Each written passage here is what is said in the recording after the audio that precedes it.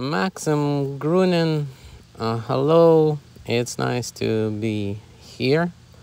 I am uh, putting some uh, color onto the white board, onto the white canvas, so that it's not so um, contrasty. And then I am sketching, uh, drawing uh, animal figure into it. Uh, so I'm looking at the computer screen uh, off to the side for photographic reference.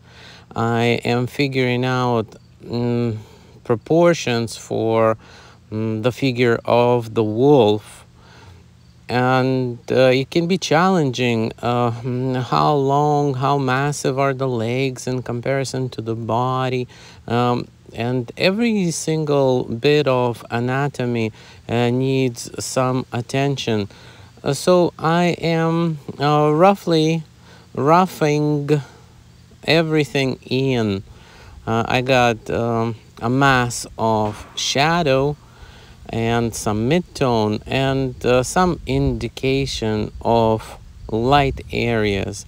And then I'm also uh, putting maybe a midtone within a background uh, so that I I can have contrast between light areas and the background.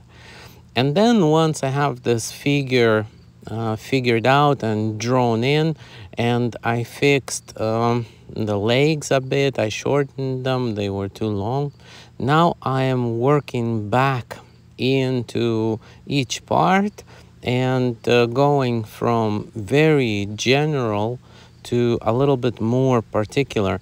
So I have some uh, brown uh, that came in, uh, different gradients of gray, and I am uh, starting to develop uh, things with more care. Thanks for watching.